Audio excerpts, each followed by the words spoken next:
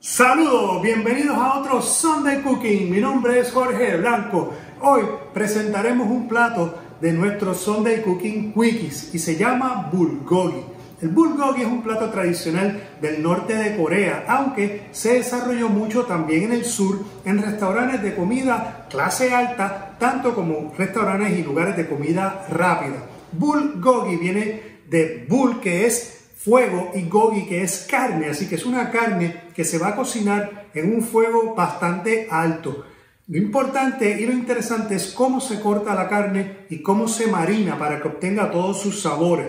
Este es el plato favorito de mi hija, así que tuve que aprender a hacerlo y lo voy a compartir en el día de hoy con ustedes. Así que a ponernos el delantal y vamos a aprender a hacer el tradicional bulgogi. Utilizaremos dos libras de carne 4 cucharadas de salsa de soya, 2 cucharadas de aceite de ajonjolí, 2 dientes de ajo, 2 cucharadas de azúcar negra, una cucharadita de sriracha y jengibre. Para hacer bulgogi, usted en realidad puede utilizar cualquier tipo de carne. No hay una carne específica para hacer este plato, porque el nombre viene de carne al fuego. Así que es cómo se cocina la carne. Usted puede usar sirloin, ribeye, New York, Puede utilizar hasta pollo o cerdo, churrasco. En el día de hoy vamos a utilizar un pedazo de filete que es el bot. Y básicamente es porque lo tenía disponible, así que lo voy a aprovechar para hacer este plato. Pero cuando usted lo vaya a hacer, escoja usted el corte de carne que más le guste y el que se le haga más fácil para cortarlo.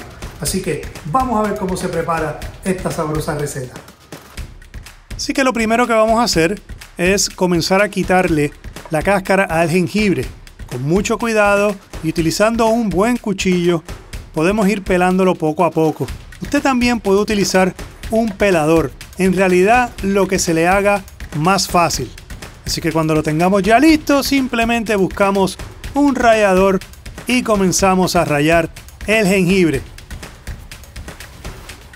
Tradicionalmente, el bulgogi se prepara un toque picante, pero esto es opcional. A mí personalmente me gusta utilizar sriracha. Si usted quiere y a las personas que van a comer no, les gusta el pique, simplemente ponga la sriracha o cualquier otro pique en la mesa y después que lo prepare, cada uno le puede dar su toquecito particular. De lo contrario, el pique se lo vamos a añadir al marinado en el momento en que se junte con la carne y con todos los demás ingredientes. Así que para preparar este sabroso marinado, vamos a ir añadiendo la soya, el aceite de ajonjolí, añadimos el azúcar, un toquecito de sriracha y poco a poco vamos añadiendo el ajo. Usted puede cortarlo, molerlo, machacarlo. Echamos todo el jengibre y procedemos entonces a batirlo todo bien para que se integren todos los ingredientes. Ya con el marinado listo, lo que vamos a hacer es cortar la carne. Así que con un buen cuchillo, lo que estamos buscando son cortes bien finos. Lo más fino que podamos cortar esta carne, ya que no estamos buscando cocinarla en pedazos grandes. Son simplemente unas lascas de carne parecidos a lo que es un carpacho. Así que cortamos toda la carne lo más fina posible y la vamos entonces poniendo aparte hasta que la terminemos de cortar completa. Así debe lucir toda la carne ya cortada, lascas finas y listas para entonces echar en el marinado. Lo que vamos es a integrarlo todo, mezclarlo todo bien. Usted puede usar una cuchara, puede usar sus propias manos o las pinzas que estoy utilizando en este momento. Luego de que se mezcle todo bien, vamos a dejarlo reposar en este marinado por aproximadamente 45 minutos a una hora.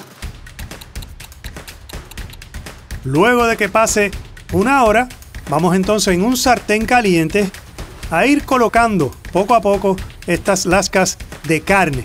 Usted puede añadirle aceite de oliva si así lo desea en este caso que estoy utilizando un sartén de teflón, yo personalmente no le añado aceite a menos que así lo necesite. Vemos como ya la carne se va cocinando y como la carne es tan fina, se va a cocinar relativamente rápido, así que es cuestión de voltearla para que se termine de cocinar por los dos lados y la vamos entonces sacando aparte.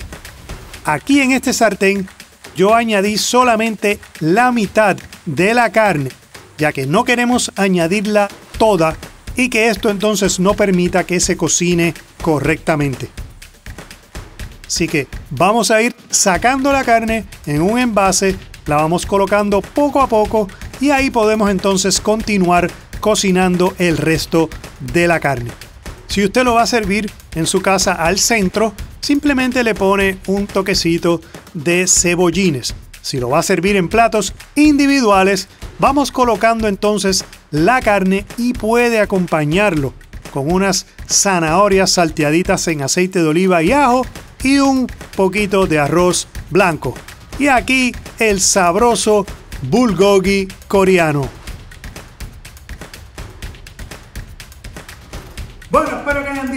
Este Sunday Cooking. Nosotros definitivamente nos saboreamos el bulgogi, estaba sabroso. La combinación de sabores y aromas es espectacular. Estoy seguro que ustedes cuando lo preparen les va a encantar. Así que suscríbanse a nuestro canal, continúen viendo nuestros videos para que no se pierdan ninguno. Vienen muchas cosas bien interesantes. Y recuerden que cualquier día de semana es un domingo familiar con la receta de Sunday Cooking y Jorge Blanco.